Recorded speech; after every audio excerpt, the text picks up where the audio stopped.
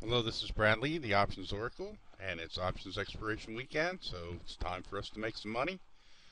Uh, first, I got to put up this legal disclaimer. I ask you to read it. It's pretty standard stuff, but I said I needed to start carrying that, so I do.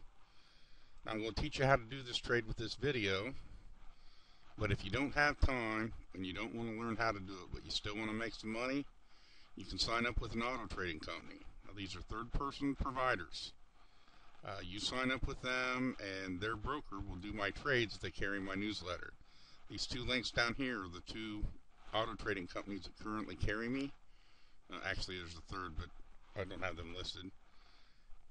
And if you don't see your company on there, uh, just ask them that you want them to carry me. Didn't look that up for me, so here, let's get this looked up. Okay, Solar City. This is, uh, looking at the stats, this, this, company doesn't look as good as it really is.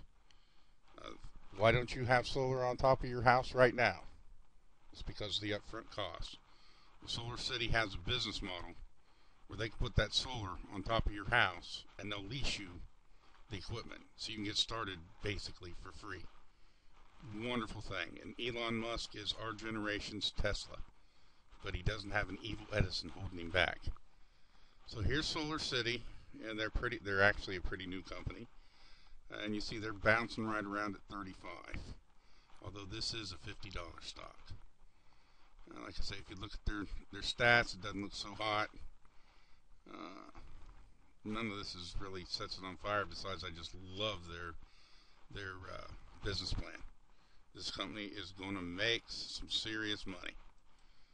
So here's our, our chain. Now it's trading at 37, and I'm going to ask for the 35. Oh, nope, I'm not going to ask for there. And I don't want there. And I don't want there. There is what we want. We want the 35, so we can get uh, probably get a dollar fifty out of it. Uh, now that's a pretty good return. It's like a four percent return, but that's not the purpose. We want to get this at 35 so we can sell this 42.50 call over here and get 75 80 cents. That's the that's the, the long-term goal. So it's 35 go over here to where it says trade.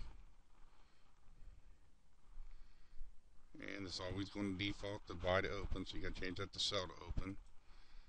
And I like this stock a lot but by going with my no more than 10% 5 or 10% I can only afford two so we're going to do two. That's 200 shares. That's I just tied up $7,000. And we're going to place the order. And see, we made almost $300. And that's all there is to it. This is Brad Lee, the Options Oracle, signing out.